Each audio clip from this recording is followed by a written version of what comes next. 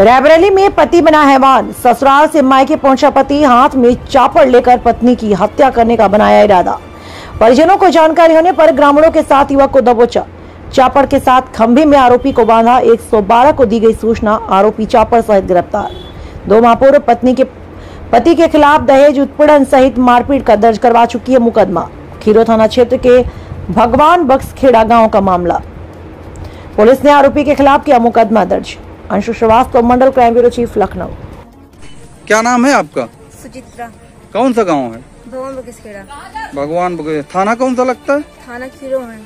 हमारे पति का विवाद चल रहा था एक केस चल रहा था वो आज रात में आके घर में दो एक बजे घर में घुस के बांका से हमें मारने की कोशिश की और बेटी को बत्ती बहा के मारे और हमारे पर हावी हो गए गटाई पकड़ लिए और बांका से हमें ऐसे मारने के दौड़े हम ऐसे हाथ पकड़ लिए और गाँव चिल्लाए तो गाँव के आदमी आके वहाँ पर आए उनको पकड़े पकड़ के खंभे में बाँध दिए।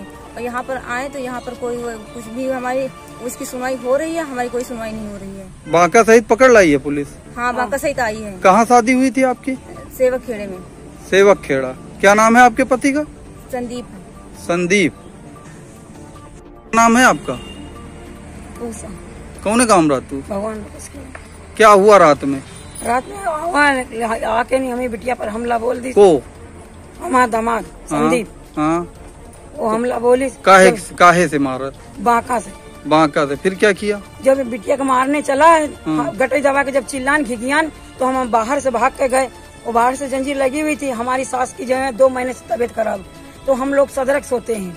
तो ये जाकर बस जब बिटिया पर हावी हुआ तो हम लोगों ने जाकर पकड़ा चिल्लाए। हम चिल्ला चिल्ला हमारी गटी गटाई भी पड़ी गई और जब गाँव वालों ने आके पकड़ के फरसे के साथ पकड़ लिया? हाँ। पुलिस बुलाया? हाँ। तो पुलिस पकड़ के ले आई? हाँ पुलिस पकड़ के ले आई। बांका भी बरामद हुआ? बांका भी बरामद हुआ। तो पुलिस ने मुकदमा दर्ज किया? अभी तो नहीं करा जो कुछ करा होगा तो भी अंदर है। हमारे भी पाँच आदमी बंद कर दिए।